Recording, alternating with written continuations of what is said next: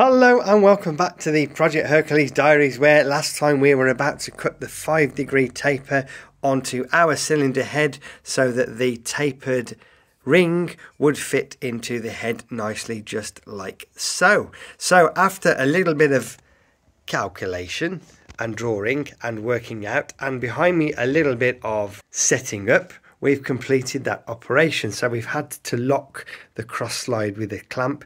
We managed to get the top slide round to put, to do the five degrees and then attach this on to put the cut on with a DTI to measure how far the cut was going so that referring back to the diagram behind me here we could work out exactly how far to travel in this direction using that that dial gauge to uh, get the right depth of the cut. And I'm very pleased to say, back over here, that while you can't readily see that that is a tapered groove there, the broken ring that we have with a taper on it fits into there really quite nicely.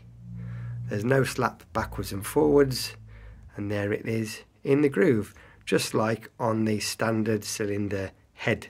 So I'm very pleased about that. Well done, Mr. Bob. Next job is to drill the holes around here and clean up this bottom end. And we'll drop it into the bike and see if the Dynastart will turn it over.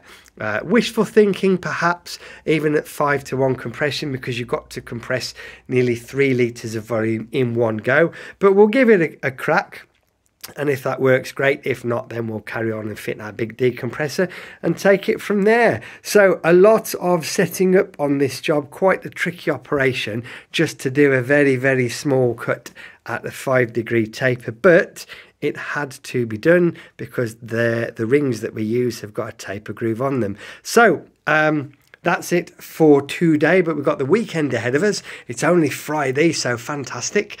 As usual, thank you for watching, and more updates will follow.